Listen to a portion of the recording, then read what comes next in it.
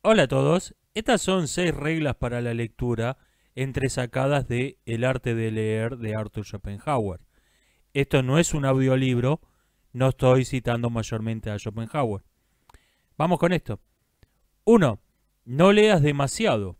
La lectura es una actividad provechosa, pero como cualquier otra actividad provechosa, tiene una medida en la que es saludable, como el ejercicio o la higiene.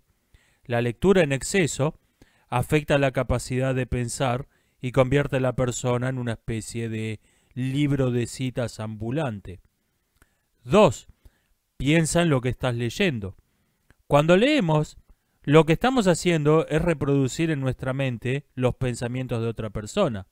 Si no nos detenemos a pensar en lo que está diciendo, a evaluar sus razones, a cuestionarlo, no entenderemos realmente el texto y, si no lo entendemos, lo olvidaremos de inmediato al terminar la lectura. Esa lectura no nos aprovechará en lo más mínimo. 3. Enfócate en los clásicos. Desde luego, un experto en política del Medio Oriente o un bioquímico necesitan estar al día con las novedades. Pero, por regla general, el lector medio no lo necesita. Schopenhauer aconsejaba leer solo los libros que hubiesen pasado la prueba del tiempo por considerarlos los mejores. Yo creo que hay una mm, segunda razón, al menos igual de importante.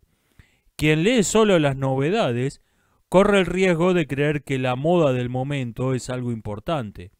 Las modas del pensamiento, a diferencia de las modas en el vestido, puede que, como mucho duran unos seis meses, pueden extenderse por décadas o incluso varias generaciones. Leer a los clásicos es el único modo de reconocerlas como modas, como lo que son, y comprender que no tienen ningún valor o importancia. Apartarnos de las modas del pensamiento es una de las funciones más valiosas de la lectura.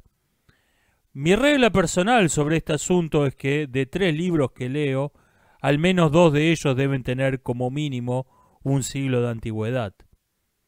4. Leer los textos de primera mano.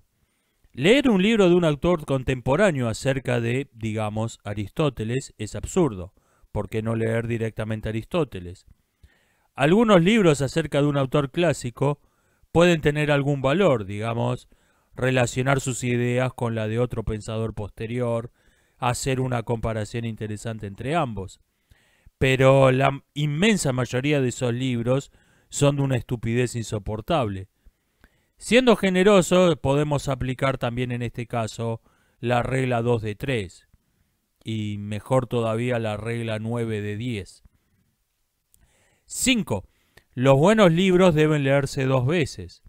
Schopenhauer da dos razones para esto. Una, que quizá no entendamos correctamente lo que un autor dijo en el capítulo 1 hasta que no hemos leído el último capítulo del libro.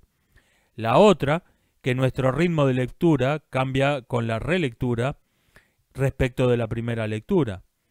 Añado yo una tercera. Conviene releer un buen libro después de algunos años porque nosotros hemos cambiado y podemos aprender una lección nueva del mismo libro. Y seis, los malos libros son veneno. Cito a Schopenhauer. Nunca se lee demasiado poco de malos libros como nunca se lee demasiado de los buenos. Los malos libros son veneno intelectual, destruyen la mente. Cierro cita. Como leer es reproducir en nuestra mente pensamientos ajenos, nos acostumbramos a pensar de modo similar a los autores que leemos. Si tenemos el hábito de leer autores que argumentan de modo racional y honesto, nos vamos a ir acostumbrando a argumentar de modo racional y honesto. De modo similar, acostumbrarnos a leer libros sofísticos estúpidos o canallescos, nos acostumbra a pensar de modo estúpido, sofístico o canallesco. En fin, las malas compañías deben evitarse por igual en la lectura que las evitamos en las relaciones personales.